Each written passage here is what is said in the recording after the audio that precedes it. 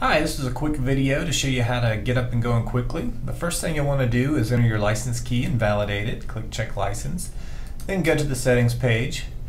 From here, what you'll want to do is set up your Coming Soon or Maintenance page. So we'll click this button. And you can choose from one of our themes. I'll just choose this one. And then you'll be presented with the page builder. And from here, you can edit the content, tweak the design, or change any of the text on the page, or some advanced options. You can also use our quick nav to quickly go to any of these settings. Um, and also what you'll want to do is set up your mail form. So under form settings, we have a variety of places where you can save emails that you collect or you can disable it. And once you tweak your design and you're, you're ready to launch your coming soon page, click back to settings.